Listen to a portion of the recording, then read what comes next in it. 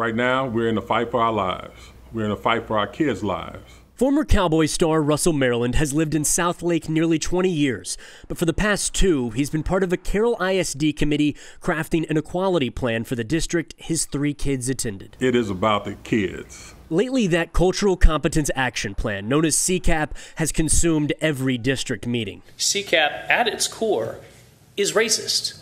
It's time to scrap the CCAP. It started back in 2018. Hey, we up with a video of Carroll ISD students chanting a racial slur went viral, and then. I can say no more! Just months later, it happened again. It was uh, a terrible, terrible feeling. Maryland says board member Matt Bryant begged him to join the committee, but has lately been unsupportive. He had tears in his eyes and said, We need you to apply after strengthening the code of conduct, they created the CCAP, which establishes diversity and LGBT focus groups, a more inclusive curriculum, more awareness of the district's diversity, and a system to track and reduce discriminatory bullying. But it's just a basic plan of human decency. No one's trying to trick anybody. Angela Jones' son was called a racial slur twice in six months.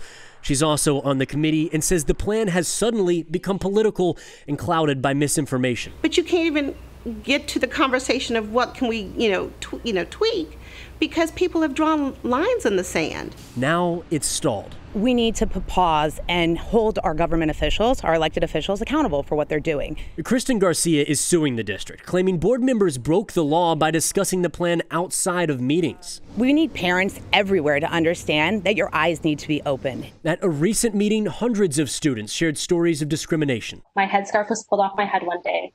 I was referred to as having a terrorist hat. You have no idea what it's like to be called a. But teachers knew about it the entire time. Just ridiculous, hateful, crazy stuff. I said to myself, we got our own little local pandemic here. This is the pandemic. But some parents say the cure is worse than the disease. And I'm sorry if somebody spent 20 months of their life working on this, okay? Sometimes a stupid idea is a bad idea. The purpose of CCAP is to impose a leftist worldview. Parents and some on the board want to pause till there's a new superintendent, likely months away.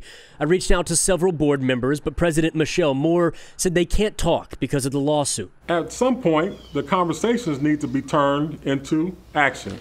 Jones and Maryland say they're not going away but neither are the reasons this plan exists. Kids who are living it right now, they can't wait. They needed something to happen last year. In Southlake, I'm William Joy.